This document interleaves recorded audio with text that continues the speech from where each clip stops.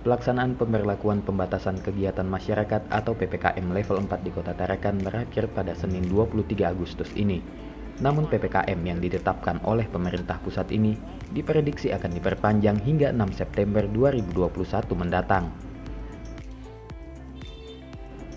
Wali Kota Tarakan Dr. Hairul mengatakan bahwa saat ini pihaknya masih menunggu instruksi Menteri Dalam Negeri, namun secara informal pada rapat yang diselenggarakan Sabtu 21 Agustus lalu, pihaknya memprediksi bahwa pelaksanaan PPKM level 4 akan diperpanjang untuk kedua kalinya. Prediksi lanjutan PPKM level 4 di Tarakan ini menurutnya akan terjadi sebab Tarakan masih berada di zona merah dan peningkatan kasus yang belum stabil. Meski angka kematian terus menurun, namun dikatakannya perolehan penurunan angka kematian tersebut baru diperoleh dalam jangka waktu seminggu belakangan. Jika perpanjangan lagi, maka PPKM level 4 di kota Tarakan telah mencapai satu bulan. Untuk itu, perpanjangan PPKM level 4 ini diharapkan Hairul dapat menurunkan kasus positif.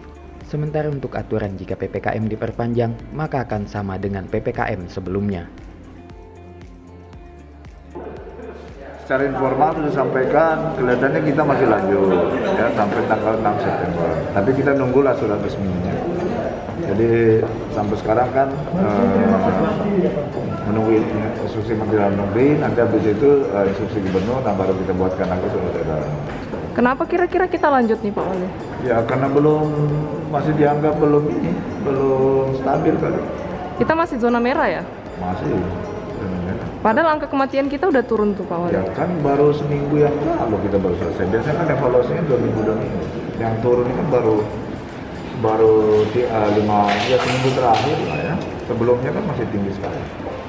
Memang biasanya penilaian dua minggu dua minggu. Nah kita belum masuk. Ya mudah-mudahan sih setelah perpanjangan dua minggu, mudah bisa turun lah, turun levelnya.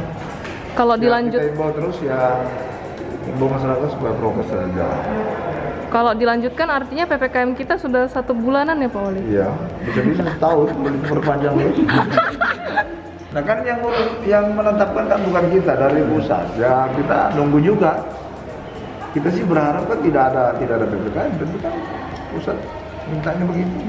Iya. Yedidah Pakondo melaporkan.